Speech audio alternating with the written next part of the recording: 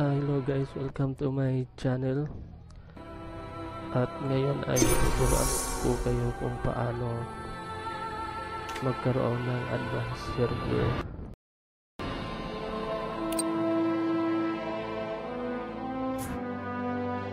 Punta tayo sa dito sa taas. Click natin.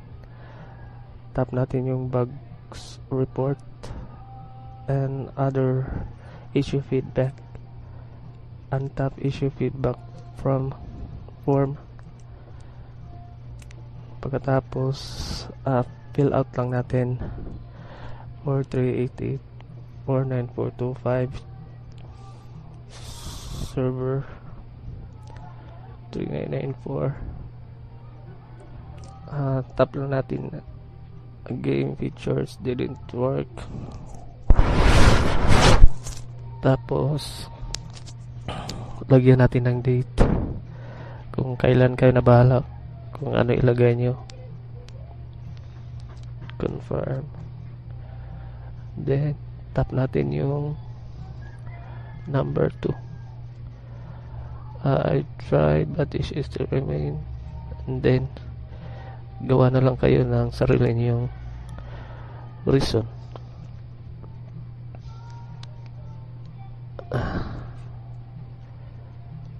I really don't know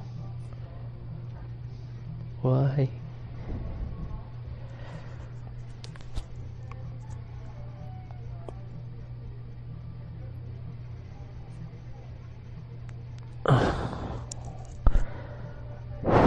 Some items ay mali some features in my account. What?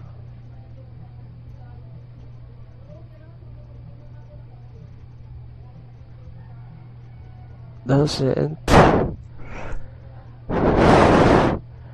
have have doesn't has a advanced server. Please.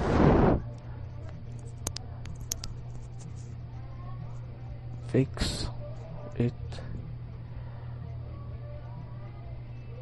Thank you. Yan lang yun lang ilagay nyo. Kayo na bahala sa mga reason ninyo. Tapos lagay natin yung screenshot natin na kanina. Upload muna natin. Ayan tapos na. Tapos i-submit na natin.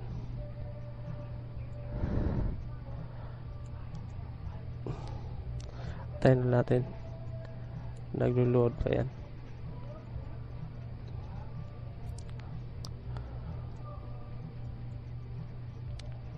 ayan. Tap natin yung submit. At makaka-receive ka ng ganitong notification. We have received a bug. Yan basahin nyo na lang yan after 24 hours. Mag email yan sa inyong mobile legend inbox yun lang